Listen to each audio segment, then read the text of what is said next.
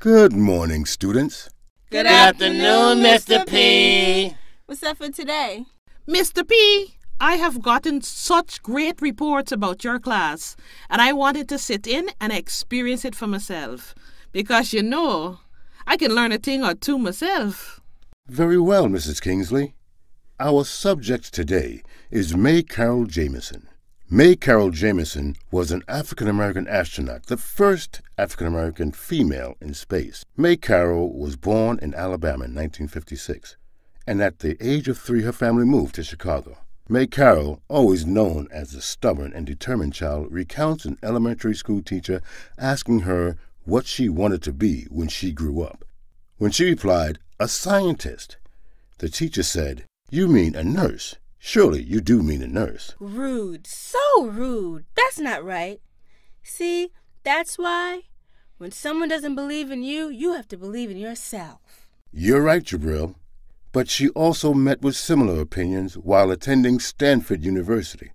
She was 16 then. The professors there bucked at a female, a black female, being in the science program, and would literally, literally ignore her during class. Aww. Well, in spite of all of the obstacles, Mary Carol Jemison went on to obtain her medical degree from Cornell University. She joined the Peace Corps and practiced medicine in places like Cuba, Kenya, Liberia, Sierra Leone, and Thailand. Jemison, in 1987, was accepted into the NASA space program. She was soon selected as a mission specialist for the Space Shuttle Endeavour, and on September 12, 1992, was the first black female to travel into space. Jemison was a bit of a Renaissance woman. She loved dance and was an accomplished dancer. Whoa! There she goes! like I was saying, Jemison is a Renaissance woman. She loved dance and was an accomplished performer. Man, she did it all. Science, the arts, she was on point, Mr. P.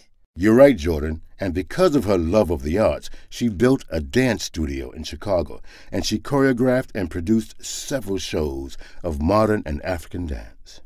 Goodness, Mr. P. And children, this was truly something to behold. It just goes to show you you're never too old to learn, eh?